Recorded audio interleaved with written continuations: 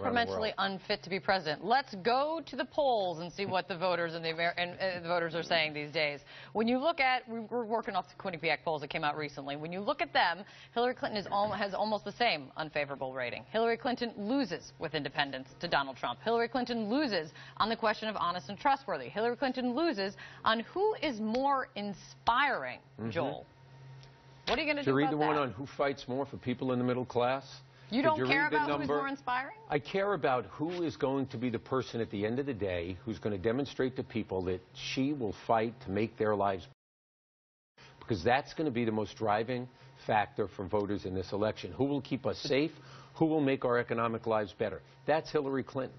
But, And I- Joel, what does it say that a person you just said Hillary Clinton said is temperamentally, uh, temperamentally unfit to be president is rated as more honest and trustworthy than Hillary Look, Clinton? let, let's see the Democratic Party consolidate here, which I believe it will.